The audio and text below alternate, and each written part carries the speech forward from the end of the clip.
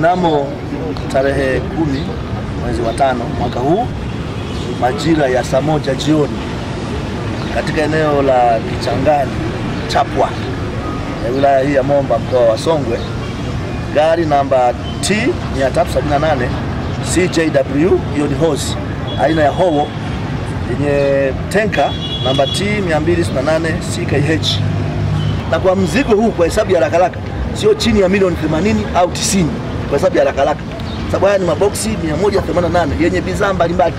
Vipodozi hivyo ni extra clear, magic clear, level vat cream, olomat gel na sabuni aina ya Mont Clear.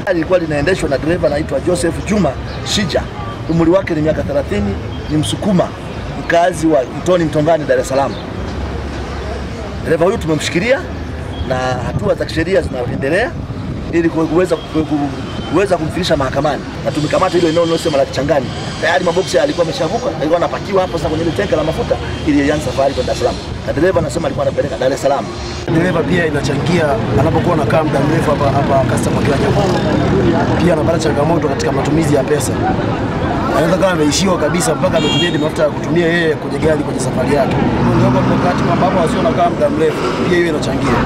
Tunaona tu ni madereva tu wanakuwa na tamaa ambazo sio nzuri, sababu vitu kama hivyo ni tamaa.